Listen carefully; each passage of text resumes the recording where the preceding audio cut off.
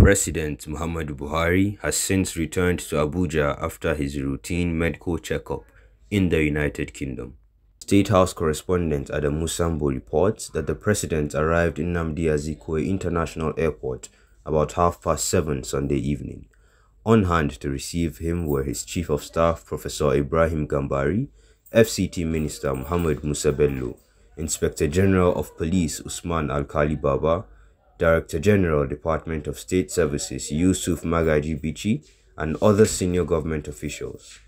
While in London, President Buhari was a guest of the British monarch King Charles III at Buckingham Palace during the high-level engagements. The President and the King of England resolved to deepen and expand the long-lasting and highly beneficial relations between Nigeria and the United Kingdom.